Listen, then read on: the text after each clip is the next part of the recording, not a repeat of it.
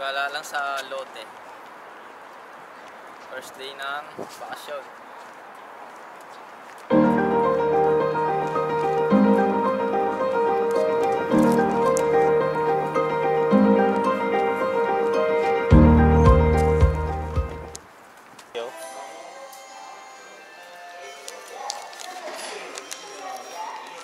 Muna kayo sa sala namin.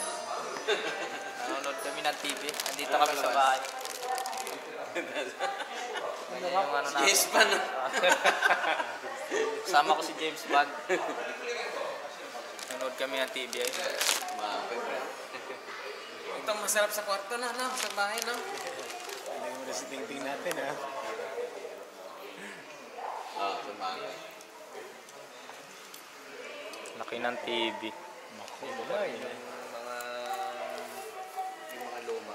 Ah, mga sinauna, pwede mong palitan ng pesa, eh, no? Pwede mo Pwede mong jumperan pa ka mo. Pag, pag nasira yung pesa, di ba? Jumperan mo ng ano, lambre. Doon ka na sa cellphone, do, ha?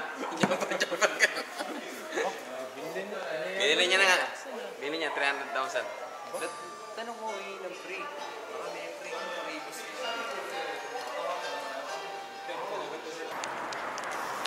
Ang ganda ng building. May sabi